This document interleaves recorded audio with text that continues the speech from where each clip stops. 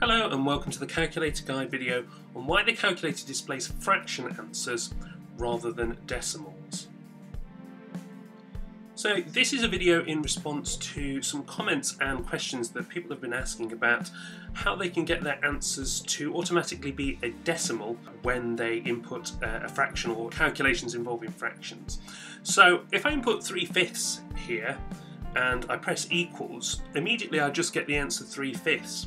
The calculator by default displays a fraction in the first instance, and I have to press then SD to change that to a decimal. And part of the problem that people have been asking is, well, how do I permanently get a decimal on there? Well, even if you change to line mode, as I'm doing now, then you still get the fraction answer in the first instance. And there is a reason why the calculator does this.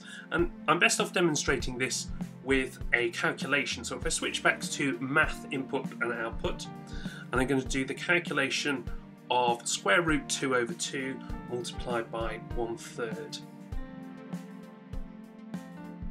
And if I press equals, I get the solution of square root 2 over 6. Now this is an exact answer. Now previous generations of calculators couldn't actually give you a result like this and this exact answer really is the perfect answer to that question if you like. If you press SD to get a decimal, this is only an approximation. Although we've got quite a number of digits there, the decimal would continue beyond past what we can see and past what the calculator can calculate to. But this is actually uh, a quite a recent innovation and why it's quite useful for a lot of mathematicians is because that might be the answer that they need. And I know it sounds annoying if you want the decimal for your answer. Now there is a way that we can change it for calculations such as this if you go to Shift and then Setup, and we're going to press 1 for Maths Input and Output, and then we want 2 for the line output. Just going to repeat the same calculation again. So square root 2 over 2 times by uh, one third, and it will go straight now to the decimal approximation. So for calculations like this, even if I press SD, it's not changing it to a fraction. Now I think this is more to do with the fact that we have a radical or a surd on the top there, that's square root 2. If I input say 2 fifths and press equals, I still get the 2 fifths answer initially. I'd have to press SD to get the decimal. And even if I do a calculation, let's say a simple calculation like add another 2 fifths, again I'm still getting a fraction answer in the first instance. Now I've done a little bit of exploring.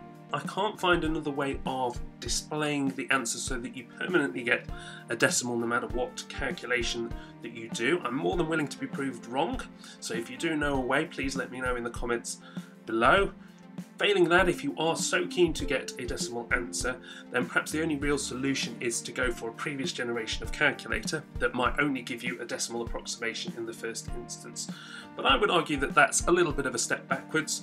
Much better to have the fraction answer because it is an exact result rather than a decimal approximation, even though I appreciate it can be frustrating to have to press SD if you require the decimal equivalent, but perhaps a minor sacrifice for a major leap forward in terms of what calculators can help us with. But as I said, if you know any differently, please let me know.